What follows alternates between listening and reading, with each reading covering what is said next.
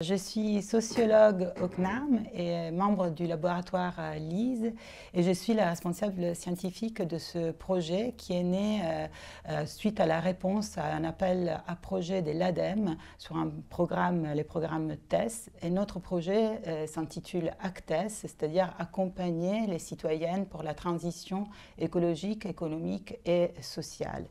Ce qui nous a donné envie de travailler ensemble avec l'association Asteria, c'était l'effet de pouvoir mener un projet action qui euh, parte en fait d'un questionnement de recherche et que ces questionnements de recherche puissent être utiles à euh, faire évoluer les pratiques, mais également tous les dispositifs d'accompagnement à l'engagement citoyen euh, dans l'écologie des personnes voulant s'engager en tant que bénévoles dans des actions écologiques. Nous sommes partis en fait du constat que finalement la société civile a un rôle majeur aujourd'hui à jouer dans la transition écologique, à la fois dans la mobilisation d'actions citoyennes, mais également dans l'interpellation des pouvoirs publics.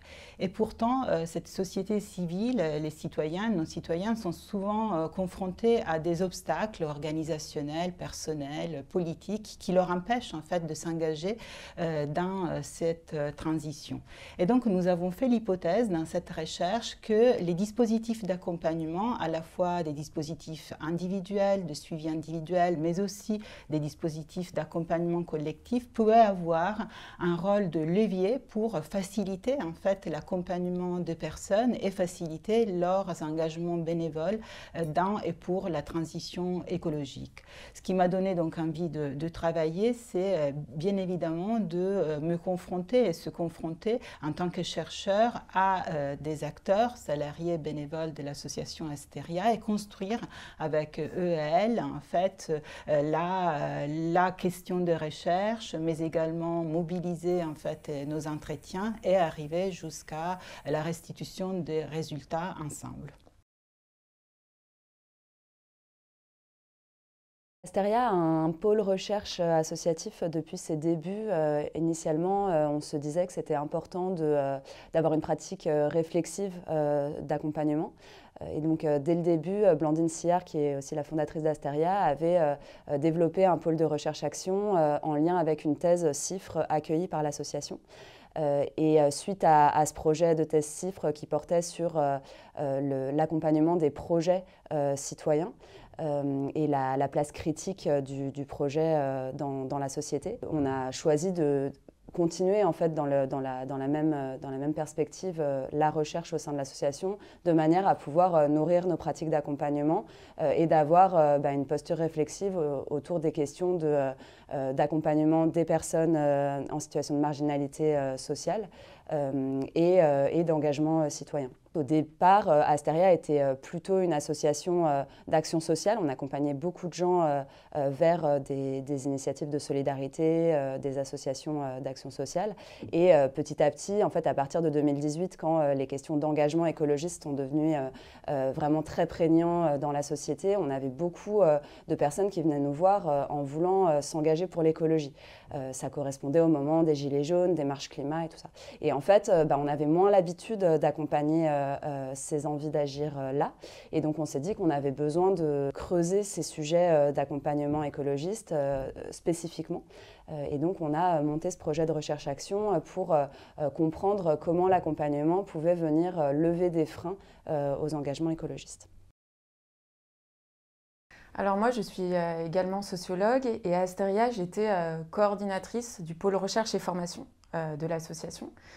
Euh, donc j'étais vraiment une chercheuse ancrée dans le monde associatif et à la fois une, salariée associative. Et euh, ce rôle de, chercheuse ancrée dans le monde associatif, en fait, il renvoie à trois enjeux euh, principaux qu'on va retrouver, je pense, dans, les recherches-actions. Le premier enjeu, c'est de pouvoir jongler en fait avec la double casquette de salariée et de chercheuse. Mener des recherches-actions dans le milieu associatif, c'est un pari. Euh, ça ouvre plein d'opportunités, mais en même temps, euh, puis ça suscite plein d'apprentissages euh, quotidiens et en même temps, ça suscite des défis. parce qu'en tant que chercheuse et en tant que salariée, on n'a pas forcément les mêmes cultures professionnelles, les mêmes temporalités de travail, et c'est un défi qu'on doit pouvoir travailler dans les recherches-actions.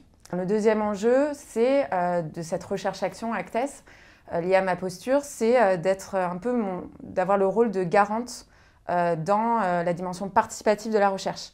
Et là, en fait, l'idée, c'était de mettre en place des dispositifs vraiment d'échange de, de, savoir entre chercheurs et non-chercheurs. Et dans la recherche-action, ça s'est concrétisé à la fois dans impliquer des bénévoles euh, dans la collecte de données, donc concrètement dans le travail d'entretien, dans le travail d'observation euh, auprès des associations. Plusieurs bénévoles sont venus avec moi faire des entretiens et faire des observations. La deuxième étape, c'était euh, de mobiliser les bénévoles dans l'analyse des données collectées. Donc, on a mis en place des groupes d'analyse partagés avec les bénévoles où l'idée c'était de, lire et d'interpréter les entretiens qu'on avait pu faire et les observations qu'on avait pu faire. La troisième étape, ça a été euh, d'ouvrir le processus de recherche euh, avec les acteurs associatifs externes, enfin des acteurs associatifs et aussi des acteurs municipaux, pour mettre en débat les analyses. Et euh, la quatrième étape, encore plus large, ça a été la journée d'études ACTES, où là, l'idée, c'était de partager les résultats, là aussi, d'essayer de, les mettre en débat avec des acteurs académiques et des acteurs professionnels. Et finalement, la, dernière dimension euh, de cette recherche-action, c'est euh, être garante de l'utilité sociale de la recherche. Et là, c'était euh, d'articuler en permanence recherche et formation pour, que, pour être sûr que les savoirs scientifiques qu'on avait produits dans le cadre de la recherche puissent être utiles à l'action associative, puissent être un outil de, de réflexion pour les accompagnatrices dans leur travail quotidien. Alors, nous avons euh, travaillé en particulier sur les freins qui peuvent rencontrer, rencontrer à la fois les personnes, mais aussi les, collectifs lorsqu'ils veulent s'engager dans la, transition écologique et sociale. Et je vais euh, amener plutôt trois exemples de freins individuels. Un premier frein qu'on a, a pu constater, c'est le fait que souvent les gens, euh, les personnes viennent en fait ici parce qu'elles veulent se conformer de façon très, très totalisante en fait aux injonctions éco-citoyennes qui sont en fait divulguées euh, par les, pouvoirs publics et cette euh, volonté de se conformer de cette façon euh, presque absolue fait qu'elles peuvent être sujets à des formes d'isolement, voire de désocialisation. Et donc ça, c'est un premier frein parce que ça crée beaucoup d'éco-anxiété et ça crée aussi une impossibilité d'avancer dans leur propre engagement. Un deuxième frein qu'on a constaté, c'est euh, l'invisibilisation en fait pour les personnes plus vulnérables, plus précaires, dès leur envie de s'engager dans la transition écologique. C'est-à-dire qu'elles-mêmes sont toujours renvoyées plutôt au cadre de l'aide sociale, du besoin, et on finit par euh, effacer, euh, invisibiliser leurs envies d'être des acteurs, actrices de la transition écologique. Et donc il faut lever effectivement ces freins pour faciliter leur dans les associations. Un troisième frein qu'on a pu constater, c'est que finalement, il y a, euh, et heureusement d'ailleurs, euh, ces derniers temps, une démultiplication euh, de l'offre associative d'engagement, alors formelle, informelle, à plusieurs échelles, avec plusieurs registres d'action, ce qui est à la fois un bien, en fait, pour l'évolution de la question, mais également quelque chose qui peut rendre inintelligible, en fait, l'offre associative et empêcher les personnes, les bloquer dans leur élan euh, euh, d'engagement associatif parce qu'ils ne savent pas comment euh, choisir, quoi choisir et à quel moment il est plus opportun pour eux de, de le faire.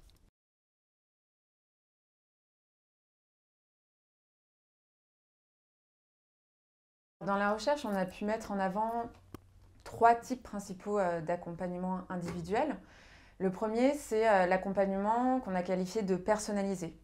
Euh, cet accompagnement personnalisé, en fait, il va appréhender la personne euh, dans la diversité de ses facettes et va essayer de euh, défricher avec elle ses envies d'engagement et il va essayer surtout de fertiliser certaines de ses facettes. plus concrètement, cet accompagnement, il vise vraiment à appuyer le travail d'interprétation de la personne, le travail de repérage de la personne dans ses choix d'engagement. Et l'idée, c'est que l'accompagnatrice, elle va pas euh, arriver avec euh, des solutions clés en main ou euh, voilà, des pistes d'action. L'idée, ce n'est pas que ce soit un aiguillage, mais c'est plutôt que l'accompagnatrice, elle, elle appuie le travail interprétatif de la personne pour la laisser elle-même construire son parcours d'engagement. Le deuxième type qu'on a pu mettre en avant, c'est l'accompagnement intersubjectif. Là, qui est un peu différent, puisque l'idée, euh, c'est qu'il y a un partage de points de vue entre la personne accompagnatrice et la personne accompagnée. Et ça, c'est assez original aussi, parce que traditionnellement, dans l'accompagnement, euh, euh, la personne accompagnatrice va mettre en sourdine son vécu personnel, sa trajectoire biographique, pour voilà, mettre à disposition de la personne accompagnée des outils, des techniques, des savoir-faire. Là, dans l'accompagnement intersubjectif, l'idée, c'est que l'accompagnatrice, elle va aussi puiser dans son vécu, dans ses, aussi dans ses expériences d'engagement militant, pour donner des repères à la personne accompagnée et aussi pour créer de la confiance. et ça, c'est central dans l'accompagnement intersubjectif. Et finalement, le troisième type d'accompagnement, c'est l'accompagnement expérimental, où là, euh, l'idée, c'est euh, que l'accompagnement, il procède par tâtonnement, par essai, par erreur et par rectification.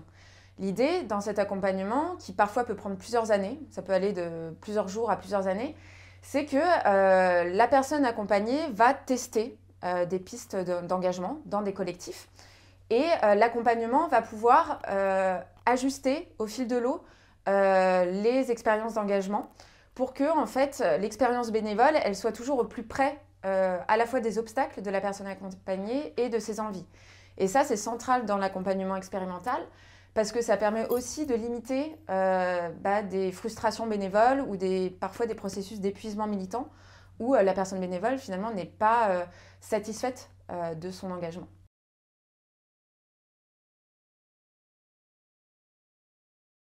Dans cette recherche-action, nous avons observer que l'accompagnement proposé aux personnes, c'est une forme de euh, euh, critique en fait des euh, motivations qui les poussent à s'engager pour la transition écologique.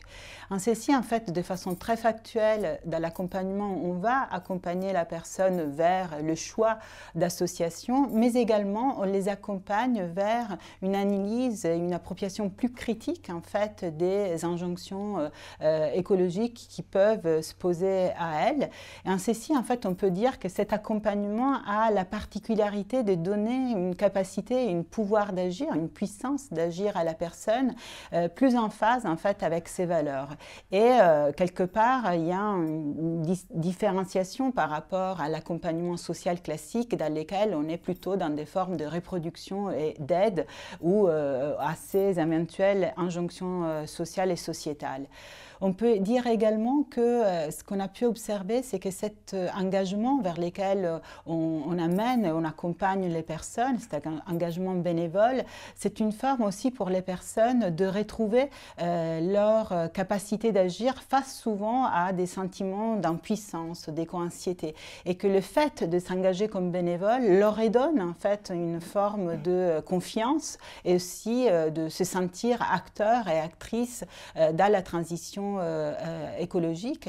Et dans ceci, on pourrait dire qu'il y a une forme d'intentionnalité politique qui est réétablie par euh, ces formes d'accompagnement euh, que nous avons observées, non seulement dans l'accompagnement, mais aussi après, lorsque la personne euh, devient bénévole. Bien évidemment, on ne peut pas ne pas dire qu'il y a des limites, des problèmes à la fois organisationnels et d'implication qui peuvent exister hein, dans la vie et dans le déploiement de, de ce forme de bénévolat. Mais ce qui prime, c'est quand même cette repolitisation des enjeux qui peuvent être à la fois vécu et porté par les personnes lorsqu'elles s'engagent.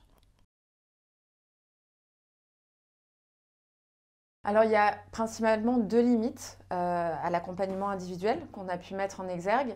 Euh, la première limite, elle renvoie euh, en fait à l'intégration des bénévoles dans les collectifs et leur socialisation dans les collectifs associatifs. Euh, concrètement, l'accompagnement individuel, il agit en amont en fait euh, euh, de l'engagement. Et finalement, on a remarqué que cet accompagnement, il a peu de prise sur l'insertion des bénévoles au sein des collectifs où ils s'engagent. et ça, c'est une limite importante parce que du fait de cette désarticulation, de cette déconnexion entre l'individuel et le collectif, ou entre l'individuel et l'organisationnel, finalement, l'accompagnement n'arrive pas à contrecarrer des processus d'exploitation que les bénévoles peuvent vivre dans les collectifs associatifs, mais aussi des processus d'invisibilisation des compétences dont on a déjà pu parler des bénévoles. Par exemple, dans l'enquête Actes, on a mis en valeur le fait que pour certains bénévoles engagés dans des fermes, par exemple de maraîchage, euh, dans des fermes urbaines en fait, en, milieu urbain, l'idée c'est de venir planter, semer, euh, euh, voilà, avec d'autres personnes librement. Finalement, certains bénévoles, notamment des bénévoles migrants, qui s'engagent dans ces collectifs, vont être davantage assimilés à des bénéficiaires de l'aide sociale, donc finalement ramenés à leur statut euh, de euh, personnes en situation de précarité et ne vont pas être forcément reconnues comme des personnes sachantes, c'est-à-dire des personnes pouvant mettre à profit leur savoir, euh, notamment écologique, dans ces fermes. Et finalement, l'accompagnement sur ce côté-là a peu de prise. La, deuxième, voilà, la deuxième limite importante qu'on a pu mettre en avant également, c'est la déconflictualisation de l'engagement. c'est-à-dire enfin, l'évacuation de la dimension conflictuelle de l'engagement écologique au profit euh, d'un passage à l'acte euh, qui soit rapide. Ou alors au profit d'un engagement euh, sur le proche, sur la sphère quotidienne, qui finalement peut évacuer des formes d'engagement peut-être plus revendicatifs, des formes d'engagement plus sur l'interpellation citoyenne ou sur la désobéissance civile. finalement, parfois, l'accompagnement va vouloir aider la personne à réduire son éco-anxiété ou à, trouver un sens dans ses pratiques quotidiennes et euh, va davantage du coup euh, œuvrer à, mettre en, adéquation les valeurs de la personne avec ses pratiques quotidiennes et donc va recentrer la personne plus sur un engagement euh, voilà, quotidien, un engagement à bas bruit et moins la recentrer sur des engagements peut-être plus, plus conflictuels ou plus revendicatifs.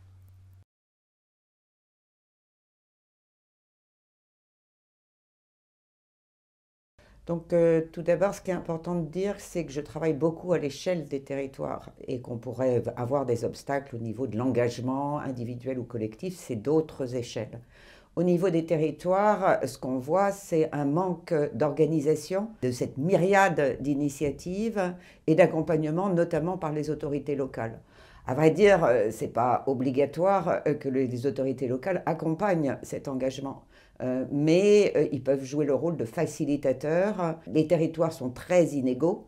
Euh, à la fois socialement, mais aussi écologiquement. Ils ne sont pas à proximité des mêmes espaces verts, ils n'ont pas le même taux de pollution, ils n'ont pas le même accès à l'énergie. On voit bien que ces inégalités jouent un rôle dans les mobilisations collectives, mais aussi dans leur capacité à se structurer à l'échelle des territoires pour se faire entendre sur les problématiques écologiques.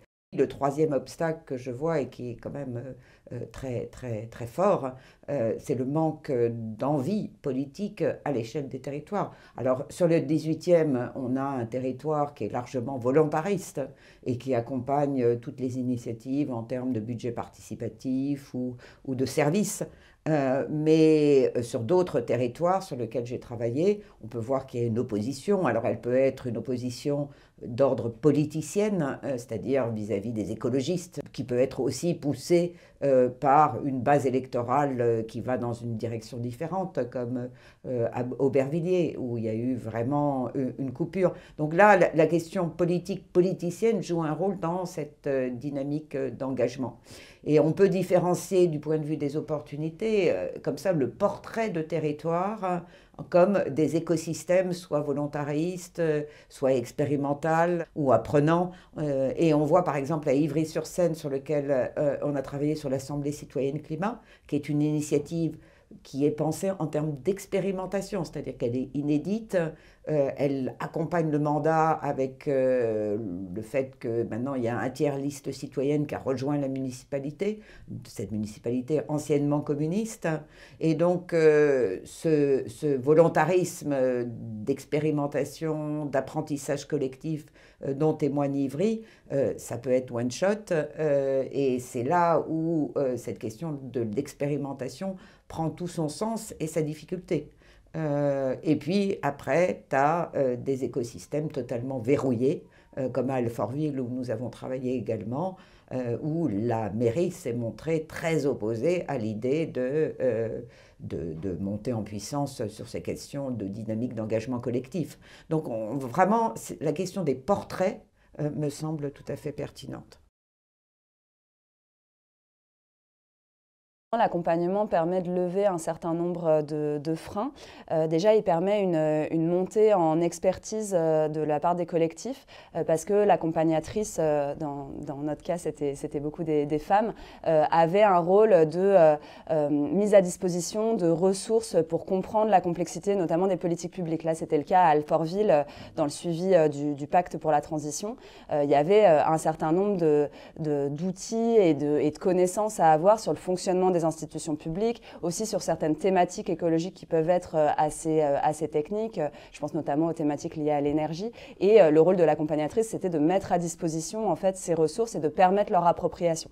Et par ailleurs, c'était aussi de créer un cadre propice à des apprentissages entre pairs. Parce qu'en fait, chaque association avait aussi son expertise développée dans l'action de terrain chacune de leur côté. Et donc, euh, euh, il y avait aussi bah, une transmission à faire de ces savoirs et, c'était le rôle de l'accompagnatrice de créer un cadre propice à, cette transmission. Il y a euh, un deuxième levier qui est un peu corrélé, qui était aussi d'apprendre à agir en commun avec des associations ou des collectifs qui avaient des cultures militantes et politiques différentes. Et donc, de, créer là encore un, cadre qui permettait une action commune malgré des désaccords parfois, ou en tout cas des, des manières d'agir et des répertoires d'actions euh, militantes euh, différents. Dans le cas d'Ivry, puisque euh, Nathalie, tu en parlais, dans le cadre de l'Assemblée citoyenne, le, rôle de l'accompagnement, là, qui était porté par les politiques publiques, hein, c'était aussi de, créer la possibilité d'émergence de contre-pouvoirs, en tout cas d'émergence de conflits, de tensions, de désaccords au sein de cadres délibératifs qui, en général, sont quand même plutôt consensuels. La tradition de la démocratie participative en France, elle est quand même plutôt dans, le consensus, dans la recherche d'un consensus de l'intérêt général.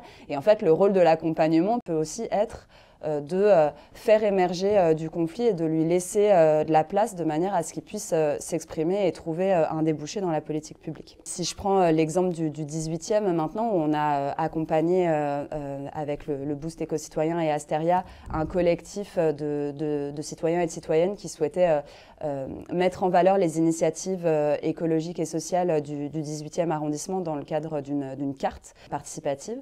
Dans l'accompagnement de ce collectif qui s'appelait l'éco-plan, euh, l'accompagnement a aussi permis euh, la construction de, critères euh, autonomes en fait pour définir ce que c'était que l'écologie. Et ça, c'était important de pouvoir créer ce cadre-là pour que le collectif Écoplan bah, se crée sa propre vision de l'écologie et ses propres critères pour la redéfinir. Et notamment, ça a amené à bah, tout un choix de, valeurs en fait très très politiques et, qui relèvent d'enjeux éthiques quoi, autour de ce qu'est l'écologie et de ce qu'elle n'est pas. Et notamment, ça a conduit à exclure en fait de la cartographie euh, toutes les initiatives qu'il relevait de la part euh, euh, des, porteuses de l'initiative, du greenwashing ou d'une écologie qui fait trop de compromission avec le capitalisme. L'éco-plan, il a aussi permis de requalifier certains espaces du 18e arrondissement qui étaient peut-être moins valorisés dans le, dans le cadre de de l'écologie euh, parce que les initiatives qui étaient euh, menées étaient plus invisibles, se revendiquaient pas forcément de l'écologie alors qu'elles y contribuaient. Et ça, ça a permis aussi de mettre en valeur ces initiatives-là. Et enfin, un dernier levier euh, permis euh, par l'accompagnement, c'est euh, la question de l'essaimage et de la montée à l'échelle des, initiatives, parce que ce qu'on a beaucoup travaillé dans le cadre d'Actes, c'est l'articulation entre l'accompagnement individuel auprès de personnes, l'accompagnement collectif auprès de, groupes, d'associations, de collectifs citoyens, et l'accompagnement territorial, donc plutôt du côté de l'action publique sur un territoire. Et en fait, l'accompagnement, il, permet aussi ce, passage d'une échelle à une autre qui est un un levier d'essaimage pour les initiatives citoyennes. Je dirais quelle représentation de l'écologie et de l'action écologique euh, transparaissent dans ces pratiques d'accompagnement. Alors, si vous prenez par exemple la question de Ivry-sur-Seine, euh, pour eux, euh, l'enjeu, c'est de réunir des pratiques citoyennes à volonté euh, d'engagement sur le territoire, des enjeux sociaux d'une population qui est globalement défavorisée, et puis des enjeux d'atténuation des émissions de gaz à effet de serre ou, d'adaptation au changement climatique. Donc on est là sur un écosystème qui expérimente effectivement, comme je l'ai dit plus tôt, mais aussi qui tente des liaisons entre des pans de politique publique un peu différents. Euh, et ce n'est pas tant social, écologique qu'un ensemble d'acteurs et de pratiques de politique publique et de pratiques citoyennes qui sont reliés comme ça. Et la vision de l'écologie, euh, c'est la nécessité, je dirais, d'aller tous ensemble dans, le, dans, le même, euh, dans la même visée. D'une certaine manière, c'est pas une vision de l'écologie que la nécessité euh, pour un territoire aujourd'hui de s'inscrire dans ce cadre de la transformation socio-écologique. Donc euh, après, euh, de la part des citoyens qu'on peut accompagner ou des collectifs, là pour le coup, il y a des visions de l'écologie qui sont radicalement différentes. Si on prend un collectif qui s'engage pour préserver la biodiversité, on a une vision de l'écologie qui est naturaliste d'une certaine manière. Si on prend par exemple Emmaüs ou on prend d'autres grosses associations, leur vision de l'écologie est largement anthropocentrée, on pourrait dire. Elle est avant tout sociale et elle est la question de la solidarité face aux chocs euh, anticipés ou à venir.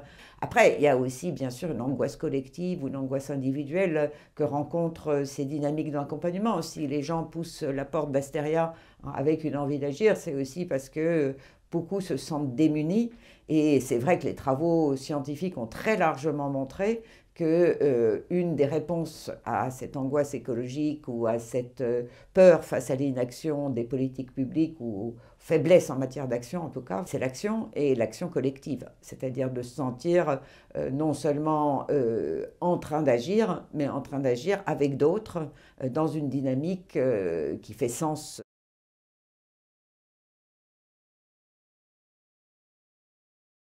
La recherche, elle a déjà permis de, transformer et de confirmer euh, nos pratiques d'accompagnement au sein de l'association. Euh, quelque part, ça a permis de, les confirmer parce que euh, c'est des choses qui sont parfois difficilement évaluables en interne. C'est-à-dire que bah, parfois, on accompagne une personne, on sait ce qu'elle devient dans les six mois à venir, mais deux ans plus tard, trois ans plus tard, on ne sait pas si elle est encore engagée, si elle est engagée dans la même association, puisqu'elle a retenu en fait de son engagement, comment ça lui a permis de se politiser, etc.